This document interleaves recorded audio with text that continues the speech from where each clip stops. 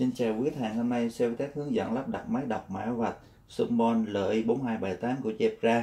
Đây là bộ máy đã ra khỏi hộp, gồm có máy, chân đế và dây cáp USB. Việc đầu tiên, chúng ta lấy dây cáp USB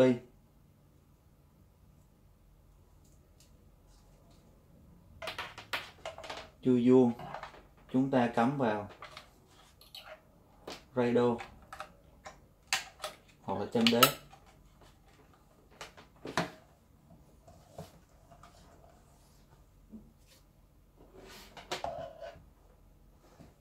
chui USB chưa dẹp, chúng ta cắm vào máy vi tính.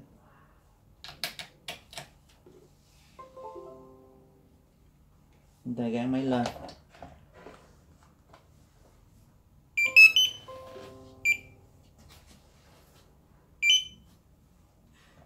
Chúng ta quét vào mã vạch bên này để máy đọc mã vạch, nhận diện chân đế.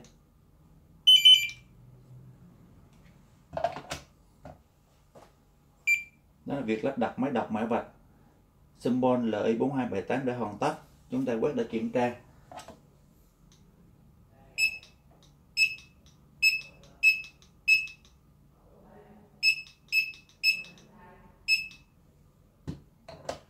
Việc lắp đặt máy đọc mã vạch symbol LI4278 là khá đơn giản và dễ dàng, không cần một nhân viên kỹ thuật chuyên sâu mà người dùng phổ thông có thể lắp đặt được ngay.